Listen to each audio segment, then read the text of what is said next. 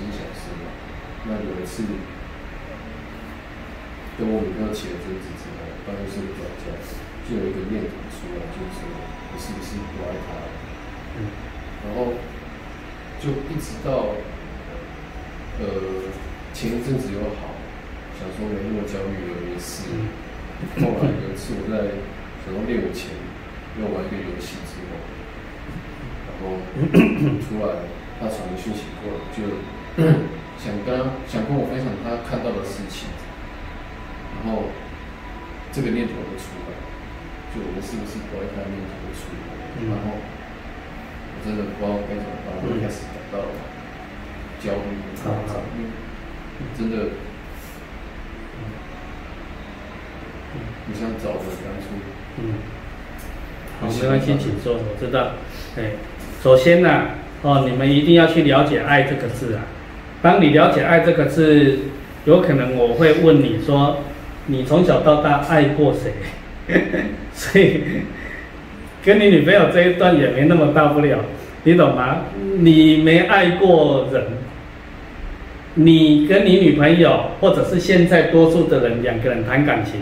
不是只有你，他都只是在一种情欲上，情欲上不叫爱，你懂吗？什么叫爱啊？爱是没有自己，对吧？没有自己，对方能够从我身上得到任何好处，我都可以给，这个叫做爱，懂意思吗？那你要问看你从小到大有没有这样的经验？所谓情会变。爱不会变，哦，所以你们的之间的爱应该前面都还要加个情，情爱或爱情，哦，都好，对不对？那爱情它不是爱嘛，你懂吗？所以它本来就会变嘛，所以你也不用大不了嘛，对不对？哦，那现在只是说，你你了解之后，你未来你要当什么样一个人？那么如果你有真正的爱，你必然是建构在道义上。问题是，如果你道义这件事情都不了解，你怎么建构？对不对？好，所以我刚刚已经讲了，从你妈妈的肚子里蹦出来，一直到长大，这个社会并没有教你什么叫爱啊，所以你会误解，懂意思吗？你现在的困扰是从误解当中产生来的，哦，所以你花个时间再回去理解就好了，你一理解就没事了，哦，就没事了。那好啊。这时候你问你自己啊，你们谈感情是为什么？因为你们会讲因为爱。啊，这时候听我讲完不太，对不对？不太不太能讲这个字的，怪怪的，有没有？哦，那那那你再再体体会一下因为什么？那这有帮助你理清哦。嗯，我很喜欢那时候，嗯，跟他相处的当下，然后好，一个一个来。相处的当下有什么？有，就是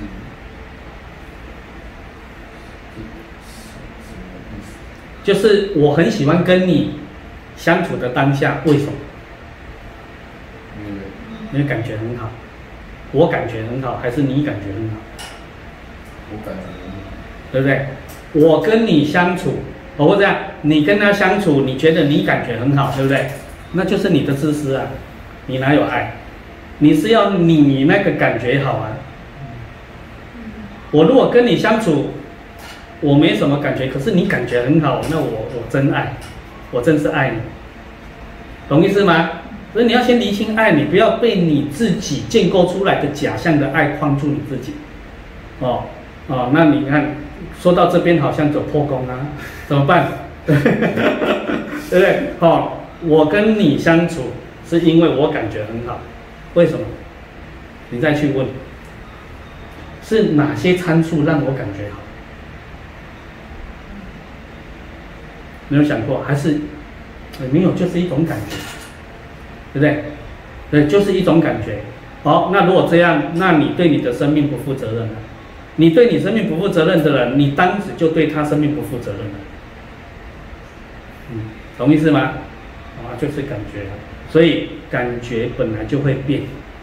好，你为什么说你不要在你女朋友身上哦，把自己扩大成这样？你懂意思吗？你在回忆拉开你跟你女朋友，你从小到大跟每个人相处，你有没有变过？都变了，那为什么你那时候没罪恶感？你那时候没有没有觉得怎么办？你那时候都没有，因为他没有你女朋友给你的回馈。那如果是这样，那你不应该讲我对他的爱有没有，而是你应该回来我这一个欲望的部分怎么去面对，懂意思吗？哦，那欲望这种东西你得理解，你必须要去提升它才能超越。哦，所以没学习这一个问题都解决不了，它只是换而已。哦，哪天事过境迁，对不对？感情为什么会变嘛？佛家讲情是作用，刹那生变，哦，一下就变了，像翻书一样，对啊，哦，你比如说，哦，刚刚前面讲的，哦，要知恩报恩，我说很难，现在，哦，那你们要维持也很不容易，对不对？很很很稀有动物，你看我们身边经历多少人从你身上得到好处，哦，叩头跪拜感恩到不行，对，稍微。讲他，哎，你不能这样哦，他就翻脸了，像翻书一样，对不对？懂意思吗？这就是你们的生命直性哦。我指的是什么？人性，人的习性就是这样。所以你要解决这个问题，很简单，你得要拉回来哦。怎么样做，他这个人的习性才会改变？改变成不是这样，不是这样就解决了，懂吗？好，那你就要训练你的执着少一点，分别心少一点，妄想少一点。好，透过少一点再加码，最后少很多点，对不对？少很多点再加码，最后都没有。那你执着会先没有，呃，分别妄想，这是第执着一没有的人，这些问题都解决了，自然就消失了。哦，那时候都是好的，懂吗？好，那我们先不讲没有。执着可以减一大半的，就已经可感觉生命状态很好了，这个问题也就没有了，因为本来就会变好，你的受用本来就变，那这个受用就不是从对象建构出来的了，这虽然是你从内而外自然流露啊，所以人家讲悦自心中来嘛，对不对？哦，你们快乐是建构在外在嘛，只要建构在外在的任何一个快乐都会变，你要认清这个大自然法则。哦，你不认清，你就会痛苦；你认清，你就会符合大自然法则去运作，你就会越活越快乐。哦，所以你应该去什么？找寻你内在的喜悦，而不是追求外在建构的快乐，懂意思吗？所以我刚访问你不是无厘头，是要让你去明白。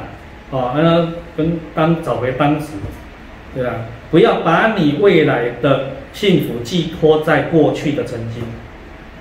懂意思吗？因为逝者已矣啊，过去不在了，你现在回不到你婴儿时期无忧无虑了，懂意思吗？可是你可以创造未来的无忧无虑嘛？你为什么不要？懂吗？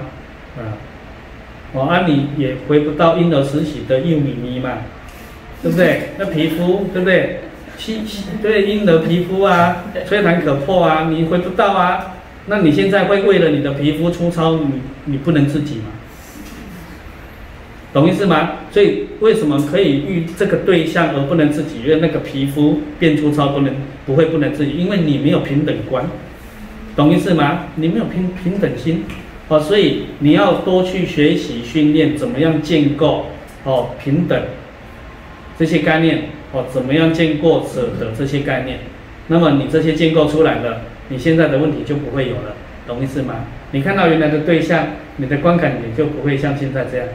哦，所以因为你不是建构在外在任何一个人事物的嘛，你是自己的圆满，懂意思吗？所以你要多花时间去理解这一些理路，哦，多花时间是执行这些理论，哦，只要有这两个就解决了，哦，那当然这两个的概念你愿意的前提，你要先有一个动作，就是先挡掉一些无谓的杂质，好，网络的信息无谓的挡掉。跟人在互动聊天，无谓的挡掉，你全部浸泡着，浸泡在这一些建构平等心，对不对？喜悦心、决心、慈悲心这一类的，你浸泡在这一个染缸，你久而久之，自自然然就变这样，就变成喜悦，懂意思吗？对，要去解决问题，哦，而不是光在那边想，嗯，这可以明白吗？嗯，嗯。